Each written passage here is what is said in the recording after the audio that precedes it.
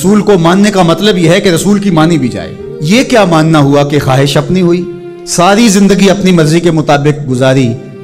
शादी भी सारी अपनी मर्ज़ी के मुताबिक, सारी रस्म हिंदुआना की। वहाँ, चलो, तदफीन का मरहला आया तो जलाते नहीं है, कफन पहना देते हैं और तदफीन कर देते हैं, जो कि हम मुसलमान होते हैं। ये धोखा तुम अपने साथ कर रहे हो, रब के साथ नहीं कर सकते। यहाँ सर से लेकर पाँव तक आना होगा, आधा तीतर आधा बटेर नहीं चल सकता। तो नबी की अतात, फिर उसमें क्या, क्यों, कैसे कैसे मुमकिन? जब मान लिया तो फिर मान लिया।